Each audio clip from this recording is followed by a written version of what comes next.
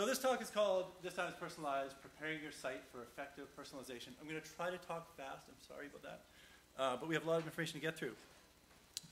Um, so the agenda today is what is personalization, why should I care, planning for it, sustaining your strategy, implementation options, and conclusions. And just really quickly, because there's lightning talk with Bjorn Thompson, work for Imagex Media, in Vancouver, Canada, and I can tell you more about me later. You, you know, that's, yeah. The, uh, for the recording, Oh. up, use the mic. Okay. It's, I'm a walker, so it's hard for me to. Maybe you could grab this one if you want. Oh, yeah. Um, maybe later. Perfect. So, first step is why personalization? Probably not a brand new topic for everybody, uh, but uh, it's important to know. So, how to engage users with divergent needs within a single site? A big challenge for any kind of site, but especially sites like higher education sites, um, public sector sites, um, any, anyone with lots of different types of, of users. Uh, how to improve content discoverability in sites with hundreds of thousands of pages. So how can we push the key content up to users and make them feel um, like the site is more for them, that's tailored to their needs. And also how to accommodate users who may have longer decision cycles. So if someone's coming back six months from now, or if someone's coming back uh, three months from now after they need more time to think through a decision, how do we kind of hit them at the right moment? Um, so that's where personalization hopefully comes in. So this is a uh, maybe a little bit of an older older school example, but uh, this is a standard page right here, just to give you an example of what personalization looks like, just in case you want a mental picture. So on a standard page, we can magically provide them with a uh, message. It looks like you're coming from China. You may be interested in our programs for international students. Um, a less brazen version is we can say, hey, the software stuff. Here's programs for international students. Um, and then potentially TMI. Hello, Tom. We're, we're helping students succeed inside of BC. Except that's sort of getting into the uncanny valley of creepiness when we're starting to talk to people as if we've broken the fourth wall. Um, but that gives you an idea of, of some of the things you can do with personalization. Many, many things you could do. But the idea is, is to get uh, more and more engagement. So the potential outcomes are to give your users what they're looking for at the right time in the desired format, uh, improve retention and conversion, and increase user satisfaction. So the research on this is really clear. There's tons of surveys, big surveys with 20,000, 50,000 data points, um, saying that personalization, people who commit to personalization and do it well are seeing enormous increases in um, sales, and engagement. Um, Econsultancy and, uh, did, a, did, a, survey on that. Uh, HubSpot uh, looked at 30,000 of their, of their users, did a very broad uh, survey that found 42% of people who personalize calls to action, or sorry, say for the 42% higher conversion rate uh, for people who, who personalize calls, calls to action. So amazing stuff. So why isn't everyone doing it? Uh, how many people are doing it, by the way? Okay, a few people, three, four. It's great. Um, limited time and budgets, competing priorities, uh, technology barriers. What platform should I use? Uh, not knowing where to start. How do I implement it? What do I implement? How do I measure success? And how do I sell it to my team and make them feel like spending this money is worth my time? So what I'd like to talk about is not necessarily how to do personalization in depth in Drupal, 20 minutes. Uh, more to talk about how do you get personalization moving within your organization? Um, how can you plan for it and effectively get started on that initiative? So effective personalization, like anything worth doing, requires planning. There are incremental steps we can take that set us up for success. First, the strategy and the perspective needs to be right, then we can layer in technology. There's a great uh, article in here. This is it's linked to from the bottom, and I can share the, the slide deck, um, where Stephen, Stephen Yu talks about kind of the golden, what do we call it? Golden square? Yeah, matrix. Um, golden matrix of, uh, of personalization. So the key cornerstones are technology, content, analytics, and data. But if you start with the technology without the content, the analytics, and the data, you'll a lot of times end up spinning your wheels or not making the best use out of the technology.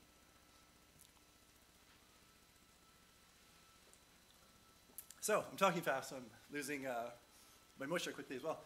Bef so before beginning with the technology, we have to step back and start thinking about um, what are some ways that we can actually get our users to engage with the site? How can we understand our users?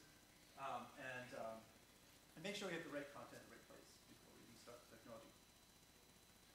We need to understand the audience and, content and the context. What are the business needs? uh, who are the users, what do they want, what key content will help them achieve the goals, and what friction, what sort of anxieties or um, pain points are holding them back from, from achieving those goals. So, some great activities to help you prepare for personalization are kind of the traditional activities you- you'd associate with the kind of discovery project or a kind of user, user kind of engagement project. Um, so identifying organizational and user goals, and not just talking about goal being, being we want a responsive site, but a little, little bit deeper. Um, what are some of our key segments? Maybe you have five key segments, maybe you have 20 key segments. Um, what are the value propositions that drive your users and make them feel motivation and attachment to, to your content? Um, developing personas, so I think a lot of us probably know what personas are, but I'll show you a couple examples. Um, so personifying your users, helping um, to uh, ensure that uh, the site is matching um, returning users, matching sort of incoming students, returning students, all that kind of stuff. Mapping user journeys, and also gathering user, user feedback. So the great news is, as you prepare all these things, your personalization engine can actually ingest this information. So once you develop personas, you can plug those personas into whatever sort of personalization engine you use, and it can actually make use of that um, to, to build up much more sophisticated data models and engage your users much more effectively. So you're not doing anything, this is what you should be doing when you're getting ready for a personalization effort. So the first step is identifying business and user goals. Um, so establishing organizational context, identifying overlap between institutional needs, so what you guys need as an institution, and what the users need, identifying the gap, the gap there. So who are our users? What benefits can we offer them? And I'm probably not being picked up very well by the mic. Hello there. Um, and how can we reach them? So in order to get that data um, moving within the organization, a key activity that we do, a lot of people do sort of on-sites, they do a lot of um, kind of stakeholder engagement activities. We like to get the actual users in the room together. So this is an example of actual users of an actual product, thing, um, in a room together, talking about um, what are the sort of uh, key things that need, they need from the product, um, and uh, you know how do they use it, what's the context of their use, all that kind of stuff. Super amazing, great data. Everybody gets excited, tons of opportunities for buy-in and uh, enlightenment. Enlightenment always ensues, which is always great when you can guarantee epiphany in an activity. So these are some of the outcomes from an activity like this. Um, all the personas that are sort of the key personas for the, uh, for the product or the site, um, their priority, which ones are most important, um, and then value propositions. What, what do users actually respond to? Um, what messages make them feel like they want to move forward? What messages leave them cold? Pretty, pretty powerful stuff. Uh, the second part is identifying and developing user personas. So how many people here have personas on your site? Okay, about a third. Okay, so that's pretty good. So the important part of, of uh, developing user personas is just is basing them in some sort of research or data, not just coming up with them from your head, which can be a great starting point, uh, but establishing who are the key audience types that want to connect with the site, and you want to connect with. What are their goals and motivations, and what do what makes them um, sort of stay up at night? What are they anxious about? Is it the price of your product? Is it um, the the difficulty of choosing among many different options? All those different things. So this is another example of an on-site we've done with, these are all real users, not actors who play users on, within a workshop. Developing um, sort of user journeys and personas together collaboratively. Super, super amazing activity. And out of that, we get things like this. So we get these great, we get these great personas. I, I'm, I'm going to try. I'm going to try. Um, we get these great personas um, that are actually based on some sort of actual analysis data. Talking to users, we know we have a little more confidence that these are the actual the, the right information, which then we can sort of um, have our, our personalization engine consume this, this really sort of great um, segmentation data. The third part is, is mapping user journeys. So for each individual persona, whether it's a prospective student or a new customer, whatever it might be, identifying pathways to achieving their goals. How will they get there? What's getting in the way? Uh, what content will they need, need to be created in order to support this journey? Um, so again, this is, this is something we, we really like to do with, with users as well. We like to get them in a room together, whenever possible, or if not possible, you get stakeholders together and look at your analytics and all kinds of ways you can do that. Mapping out the personas, um, user journeys. How do they get to your site? What do they want to know when they get there?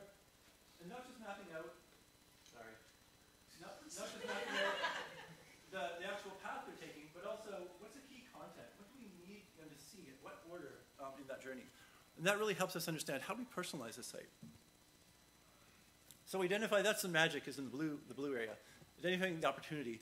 What will get them to keep going? What will get them to keep moving in the journey? And finally, gathering user feedback. Sounds easy, it's not so hard. Um, validating hypotheses we've generated, identifying issues with the current site. What is blocking users right now? Is our proposed direction correct? Is this the right design, the right content? Um, so this is a great, this is a great uh, slide um, from a group called UX Guys in Toronto. Anyone heard of those? They're cool. I think they still exist. Um, this is basically a quadrant. One second. Talking so fast, I can't even keep keep uh, keep hydrated. So this is the quadrant that basically shows all the different usability activities you can engage in. Um, this is fantastic stuff, and how you can triangulate different techniques from different quadrants in order to achieve a much more holistic, triangulated data picture. It's fantastic. Um, so in, within our project, we usually try to gauge, gauge about four or five of these items. We try to choose from different quadrants so that we can get a really complete, uh, really convincing package. So this is just vital stuff. There's all kinds of different types of things you can do within this picture. Um, but I strongly encourage you to check this out um, and think about what are some ways that you could combine these data sources, not just using Google Analytics, but actually getting outside of that. Whether it's um, unmoderated testing or focus groups, wh whatever you want to do, lots of different possibilities. And the link is in the, the bottom of the, the, slide there. So out of all of this effort um, and sort of very kind of traditional sort of UX activity, hopefully the outcomes are you understand what users value and what they don't. Um, what is the sequence and priority they want to receive information and content in? How do they want to receive information, video, chart, testimonial, so on? And how do we get them to, how do we get our team to buy in? Our colleagues, our bosses, our sponsors, um, showing this, this data, showing this, even getting them into the workshop will make a huge difference to getting them on board um, and excited. We see that time and time and time again. Right. So you collect all this information, you're preparing your site, you're gathering all this great data about your users, thinking about how you want to architect your content. So how do you actually implement personalization? Well, once you've thought about the content, the data, and the analytics, so the personas, the sort of um, raw data that you've collected, and the content that you're developing, the fourth part is obviously you need something somewhere to put it. Um, so in order to get ready for automation, um, you need the right platform. So with a frame, framework of content, meaningful data analytics, we can now start layering in technology. So a couple of you know, use cases, like for example, a, student, a user from China, we might want to show them international program information, but we might want to also emphasize academic reputation, because that's very important. Generally for students from Asia, is, is reputation is a, is a key driver and a value proposition. We might also want to emphasize safety. Uh, a visitor to a nursing program, we might want to display testimonials featuring a nursing student on the About page rather than a generic About page. So there's lots of things that can do that. Some of them are easy, some of them are harder. Um, some of the options in Drupal include uh, Acquia Lift. So that's available for Drupal 8, which is a very robust product. Um, there's also contributed modules. Some of the challenges with some of the contributed modules, and you may, you may know, know some Drupal 8, um, but right now personalization and personalized are, are D7 only, I believe. Um, so that might be, if that's not correct, let me know. Uh, and also custom solutions, which we've done a number of times, where we've tied together um, geolocation data, taxonomy to kind of pull together, um, sort of self, help, help users self-identify and, and drive them to custom pathways based on that data. So those are Drupal options. There are also great best-of-breed products like um, Evergage. It's a fantastic product out there. Um, so a lot of times, it could be the case that the best option for you is the third-party option that does, it, does everything you need to really, really well. So Lift is, Lift is out there. Evergage, um, as well as uh, Qubit. There's, there's many others out there. But check them out. There's some, some fantastic tools that will kind of um, take in all this, this research and data that you've collected uh, and actually allow you to automate it in a, in a sort of powerful way. So here's an example of a qubit screen. So it might be hard to read this, but it says new customer and non-purchaser. So that's one of your personas. It's ingested that persona and starting to recommend content based on that persona data.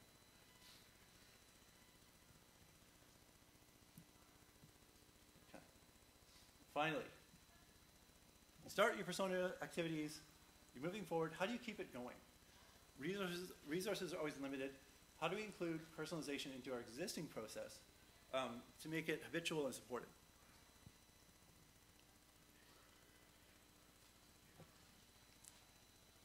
So the first step is start small. start with one thing. Start with one change. Measure the effectiveness of that. Make another change. Um, report back on your findings to your peers, to your up, upward stakeholders. Uh, and that really helps sort of get buy-in, motivation, get those quick wins, and focus on activities with the highest ROI. Um, be careful of over-reliance on sort of just looking at the what behavior. Try to understand why people are doing things and how you can make changes to really hit that, hit the mark with your users. Um, and focusing effort on optimization over variety. So not changing content all the time. Freeze your homepage, make your homepage great, and focus on that. So lots of things you can do to make your data more actionable. Uh, do customer research, set up a user customer advisory board or focus group, um, set up a booth and offer a pastry. Who doesn't like pastries? There are some. Um, and um, focus as much as you can on collecting qualitative data, uh, which is often more actionable, um, as it makes us understand why people want uh, what they want, not just, not just what they want. Once you have a personalization engine in place, all these things become, some of these things become a lot easier. There are often survey tools built into these products, um, and lots of different ways you can get, uh, get your data, um, sort of enrich your data. All right. So, in, in conclusion, um, personalization over and over again is shown to have an enormous ROI. It's one of the highest ROI activities you can do. So if you're wondering how can I move the needle, this is a huge way you can do that. Outcomes are improved big time by understanding users and their motivations. If you just install, um, you know, Lift and start using it, you're not going to probably get as much value as if you start doing some research activities before you get there. The best ideas often come from talking to users, not looking at graphs and funnels. So having those, those conversations, understanding what users actually want is really critical. And then finally, when you're beginning personalization, start small and be sure to measure. So it's better to test one or two changes and measure that than to make a lot of changes and fail to track them. That's it. I think we have, whoa, we got time. Look at that, seven minutes. I talked too fast. Yeah. Can you show the link to that blog post again? Mhm. Which blog post was that? The, uh, marketing, target marketing mag? Was it this? Was it the uh, UX guys one? Yeah. Yeah. Absolutely. Was it this one? Oh yeah, yeah. That, that was great. That's gold. Hey, I'm Frank Curry. Um, I'm curious what your feedback. It sounds like you may have worked on a few of these projects. A couple. We've mostly done the custom. We haven't yet done one with the personalization engine. I'm wondering if uh, if you found certain platforms, certain site types are easier or harder versus others, say like news versus fashion or something. Right, right. Um, well, I'll answer to the best of my ability, and then let me know if that answers your question. I think, um, so we've implemented it for a B2B site, this, this type of, of um, intelligence. And it fits super naturally into the way the B2B site uh, naturally is architected, because that site is asking users, are you like um, a CEO, or are you an implementer? So that kind of data just is naturally being pulled into the site all the time. So that was a great sort of progression. It fit super well with the way that they were thinking about the site already. Um, I can also see a higher education site. How many of you here are higher ed? Oh, wow. okay, a lot. Higher ed sites are great for that. A lot of times you have things like a persona menu, or you have different sort of ways of uh, targeting your users where you're collecting that data all the time. Um, so that can be another site that's just a natural um, next step for, for that site. Does that answer your question? Okay, great. So I had a question on the, the different options, custom, um, third party, Right. or Acquia Lift. I know the lift pricing, and it's, Right. I wonder if that would come up. it's, um, you know, for those of you who don't know, it's, uh, five figures, I think. It's is the range. expensive, it's expensive. So that might rule out for different groups that you're working with. But then, so what is the, the benchmark for the free options that engage? Or, you know, if you've worked on custom solutions about Yeah. how much time and money was that? Can you share that? Yeah, that- I can definitely share that. So that's a great question. We thought about that a lot because we didn't want to implement something, because there's also the recurring costs, because once you have it, you know, you need to continue to pay for the license. We chose to go custom because of that very reason. Uh, we, we felt that we were able to deliver something within sort of 20 to 30 hours worth of effort that was actually valuable and worth doing. Um, so in that case, it was, it paid off. It was the right um, sort of investment. Um, and we only need to really set up a few of those things once. We didn't feel we needed to spend another 5,000 or 10,000 the next year. So that, that's why we went custom.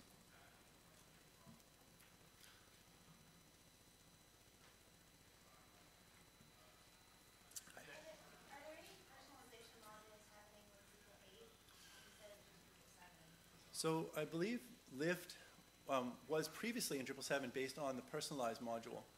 But since then, it's, it's detached from that um, because that module has not been ported to Drupal 8. Um, so right now, um, this is where, I don't know, uh, I, I tried to look around, I tried to poke around and try to find some Drupal 8 options. I couldn't find any that were in any kind of shape. Um, Lift is really the only thing I could find that was Drupal 8 ready. But uh, obviously, a lot of the third-party options have incredible capabilities. Again, if the budget is, is not ready for that kind of option, um, then Drupal 8 may not be quite there yet.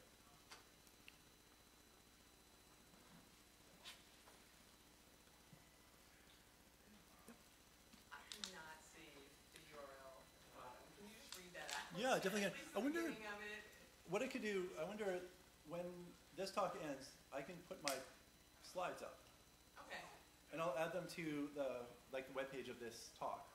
And then, uh, then you can, Awesome. can see that. Yeah, because it is hard to read some of these at the bottom, but anyway, I'll tell you what you do. You can go to uh, Google, targetmarketing.com, and Google Stephen Yu. He's the guru guy. Stephen, what? Stephen Yu, Y-U. And he has about uh, 10 articles in his series that are just like gold. Amazing.